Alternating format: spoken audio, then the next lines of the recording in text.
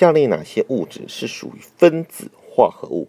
有关于分子化合物，我们来看到，分子化合物是基本上是由非金属元素之间共用价电形成，也就是说呢，化合物是由两个或两个以上非金属元素所组成。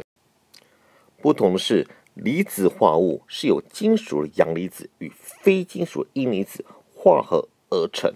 因此，我们只只需要将各选项中的元素找出来即可。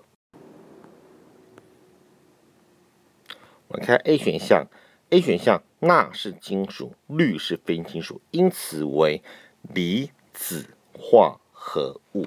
A 选项不对。B 选项硫酸、氢、硫、氧皆为非金属元素，因此 B 的话为。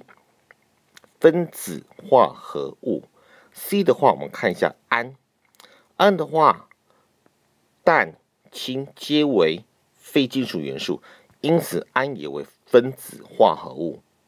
然而 D 选项氢氧化钠，钠为金属，所以氢氧化钠为离子化合物。